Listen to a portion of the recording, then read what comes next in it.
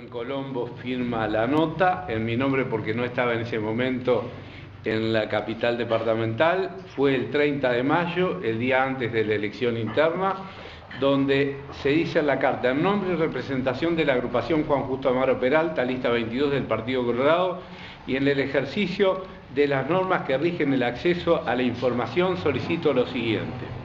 Primero, que se me pida copia del contenido de la encuesta política departamental emitida por vuestro canal el día 29 de los corrientes del corriente mes y año.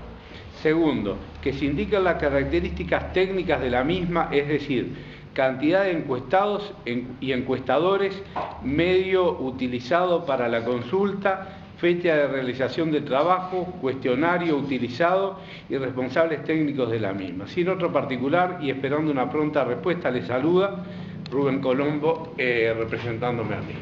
Bueno, como se verán, hoy es miércoles, yo me tomé el plazo prudencial para poder tener la respuesta, porque me parece que ver la ficha técnica, ver la responsabilidad de una encuesta que eh, a mí me hizo salir el viernes de mañana con una muy pesada mochila cuando me daban perdiendo 9 a 1 con el doctor Bordaberry en Florida.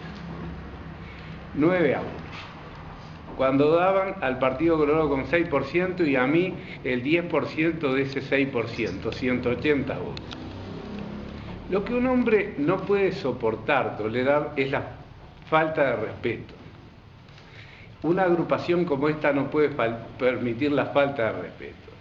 Yo tengo el enorme dolor de ver de que en una elección que se define por decenas de votos, estas cosas juegan su papel. ¿Qué motivación puede tener un dirigente cuando ve que Equipos Mori nos daba con el 3%, el domingo antes de la elección a Morín lo daba con el 5%, lo subió del 3 al 5, casi lo duplicó, y el jueves lo pasa al 15%, aumentando un 300% la cantidad de votos, cuando cualquiera sabe de que algún interés obedecían esas, esas encuestas que tuvieron un año dañando al vallismo y dañando a nuestro candidato. ¿Qué interés? ¿Quién pagó? Porque alguien compró esa encuesta. ¿Quién fue el interesado de dañar mi candidatura? Digo, estamos entrando en un tiempo muy complejo, donde la inmoralidad, eh, donde la corrupción, desde mi punto de vista, estos son actos de corrupción, crece. Y yo digo, me hace repensar la vida política y si vale la pena.